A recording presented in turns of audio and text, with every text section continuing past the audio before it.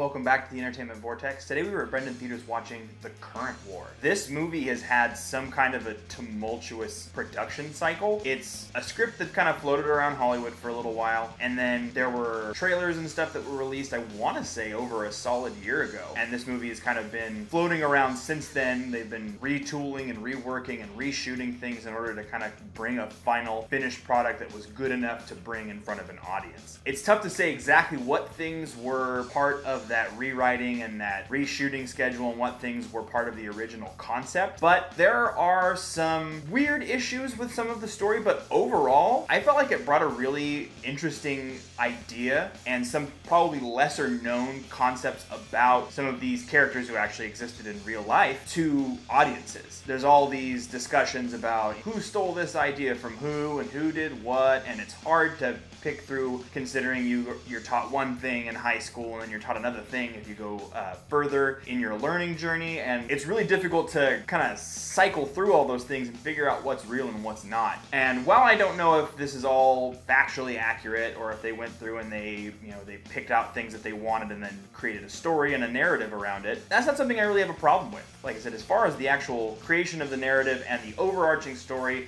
that ties these three particular characters together i felt like that was really well done. I felt like some of the side ventures that some of these characters went on with some of their own little groups and stuff, I felt like some of those may have been a little misguided. And uh, discussing this with with Nick after after we sat down and watched the movie, some of those things were apparently very jarring for him. And I and like I said, I don't know if I felt that strongly about it, but it was something where I did notice those things, and they do create a weird tone shift in places where it's not necessary. Moving on to some of the positives, the acting performances were very, very good. I felt like uh, Benedict Cumberbatch and Michael Shannon were very, very good, and the dialogue that they had with some of their other characters and dialogue they had amongst each other, I felt like those those things were some of the most exciting moments of the story, and that's that's saying something. You know, in a, in a movie, most of the time when you say something about something being exciting, you typically are thinking about like an action scene. You know, in, in the today's society, when when most action movies are comic book movies, it, it's something where those exciting moments are usually something crazy happen. But when you can find something where the dialogue and the discussions are where the excitement points come from, you're looking at something that's a different beast in today's world. It's kind of a throwback to the yesteryear of filmmaking when dramas were king. And I really enjoyed those things. I also felt like Nic- Nicholas Hoult did a really good job of playing Tesla.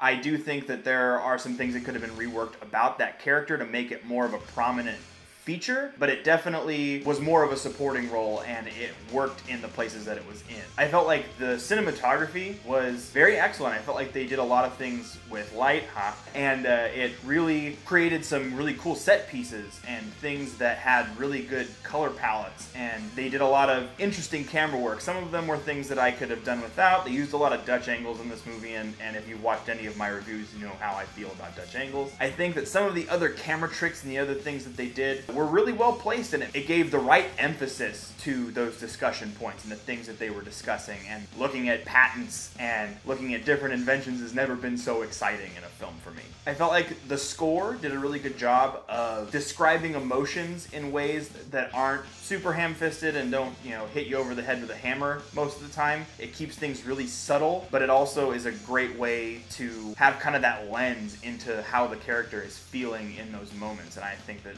they did a really great job of making that blend really well with the storytelling. And as far as actually painting that portrait, you know, making the story work, I think that they did a really good job and that they could have had more pitfalls that were there that we didn't see because those are things that hit the cutting room floor or those were things that were moved away in those reshoots or moved away in those rewrites on the script. Like I said, these discussions that they're having are things that are potentially important today and it has little Easter eggs to, you know, to current life, companies changing names and things becoming different things. And I think that without jumping into spoiler territory, I feel like you're gonna catch up on a lot of things from watching this film that you may not have realized. And I thought that, that was super cool. You know, as much as I'd like to say that I am an expert in this territory, I would say that I'm probably not. You know, I've learned about some of these people in school, but I mean, other than that, it's not something that I've studied on. The cool thing that this movie does is that it makes you want to. It makes you want to sit down and actually learn what these people were like in reality and who actually pilfered things from who and who actually teamed up with who to make their idea work. And I think that that's something that's really exciting. It's a film that makes you want to learn more. That's not something you can say about every film that's ever been released. You know, it's something you can only say about a select few things. And I really dug that feeling. Overall,